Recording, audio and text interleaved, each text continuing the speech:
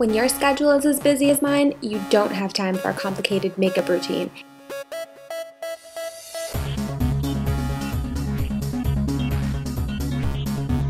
And you definitely don't have time to come home after work and redo your makeup before going out at night.